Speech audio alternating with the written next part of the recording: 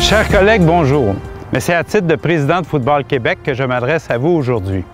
Comme vous le savez, vous êtes les yeux, les oreilles, ainsi que les outils d'application de nos règlements de sécurité pendant le déroulement d'un match de football. Les nouvelles règles adoptées par Football Québec poursuivent cet objectif de pratique sécuritaire du football québécois.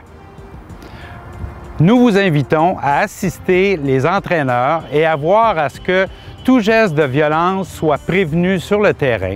Nous vous invitons également à ce que l'esprit sportif règne. De plus, nous vous invitons également à collaborer à la mise en place de cette nouvelle façon de procéder quant à la feuille de match et à l'identification des soigneurs des différentes équipes. Ainsi, avant le début d'un match, nous demanderons à l'arbitre en chef de prendre en note, après l'avoir identifié sur le terrain, le nom du soigneur de chacune des équipes et de le confirmer sur la feuille de match à la fin de cette partie. Nous vous invitons également à respecter la règle qui demande que seuls les matchs sanctionnés par Football Québec soient officiés par des officiels de l'AFAFQ. Sur ce, je vous souhaite une bonne saison Merci de votre engagement envers les jeunes et au plaisir de se revoir sur le terrain.